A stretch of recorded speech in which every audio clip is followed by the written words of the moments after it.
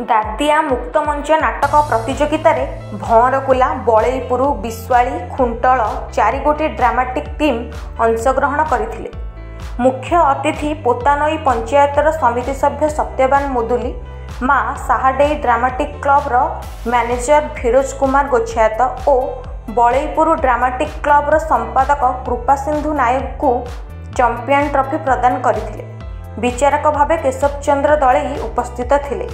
ଦାଦିଆ ମୁକ୍ତମଞ୍ଚ ନାଟକ ପ୍ରତିଯୋଗିତାରେ ମା ସାହାଡେଇ ଡ୍ରାମାଟିକ୍ କ୍ଲବ ଚାମ୍ପିୟନ୍ ହୋଇଥିଲା।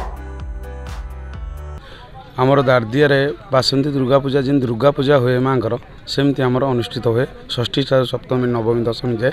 ତାପରେ ଆମର ସାଂସ୍କୃତିକ କାର୍ଯ୍ୟକ୍ରମ ଆମର ରାମନାମୀ ହୁଏ। ରାମନାମୀ ପରେ ପାଲା ପରିବେଷଣ ହୁଏ। ପାଲା ପରେ ଭଜନ କୀର୍ତ୍ତନ ପରିବେଷଣ ହୁଏ। ତାପରେ ଆମର ମୁକ୍ତ ମଞ୍ଚ ନାଟକ ଚାରି ଦିନ ଧରି ହୁଏ। ଚାରି ଦିନ ଧରି ଏ ବର୍ଷ ମଧ୍ୟ ହୋଇଛି। ଏବଂ ସେ ଚାରି ଦିନ ବିତିଗଲା ପରେ ଆଜିର ଫାଇନାଲ୍ ଆମର ୱିନର୍ ହେଇଛି ମା ସାହାଡ଼େଇ ଡ୍ରାମାଟିକ୍ କ୍ଲବ୍ ବଳେଇପୁର। ମା ସାହାଡ଼େଇ ଡ୍ରାମାଟିକ୍ କ୍ଲବ୍ ଆମର ବଳେଇପୁର। ଆମର ଡାଇରେକ୍ଟର ସାର୍ଙ୍କ ଦ୍ୱାରା ଏବଂ ଆମ ଗ୍ରାମବାସୀଙ୍କ ତରଫରୁ ଆମକୁ ଯେତିକି ସହଯୋଗ ମିଳିଛି ସେମାନଙ୍କର ଏତେ ସହଯୋଗ ଗ୍ରାମବାସୀଙ୍କ ତରଫରୁ ମୁଁ ଗ୍ରାମବାସୀମାନଙ୍କୁ ବହୁତ ଶ୍ରେୟ ଦେଉଛି ଆମ ଏ ଚମ୍ପିଆନ୍ ପାଇଁ। ଆମ ଟିମ୍ର ସବୁ ସଦସ୍ୟମାନଙ୍କୁ ମୁଁ ଏଥିପାଇଁ ଶ୍ରେୟ ଦେଉଛି। ଆମର ଚମ୍ପିଆନ୍ ପଛରେ ଆମର ପରିଶ୍ରମ ଆମର ଯେତକ ସବୁ ଏ କାମ କରାଯାଇଛି ଏଇ ଟୁର୍ଣ୍ଣାମେଣ୍ଟ ଫାଷ୍ଟ ପାଇଁ ପ୍ରଥମ ଥର ଆମେ ଆସିଥିଲୁ।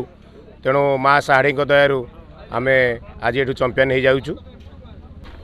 ଏଥିରେ ଆମ ଗ୍ରାମବାସୀ ଗୁରୁଜନମାନେ ଏବଂ ଆମ ମା ସାହାଡ଼ୀ ଡ୍ରାମାଟିକ୍ କ୍ଲବର ସଦସ୍ୟମାନଙ୍କର ଅଦମ୍ୟ ଚେଷ୍ଟା ଫଳରେ ଆମେ ଆଜି ଦାର୍ଦିଆ ଟୁର୍ଣ୍ଣାମେଣ୍ଟରେ ପ୍ରଥମ ହେଇଛୁ ଏବଂ ଚମ୍ପିୟନ ପାଇଛୁ ତା ସହିତ ଆମ ଡାଇରେକ୍ଟର ତା ସହିତ ଆମର ନଟବର ବାରିକ।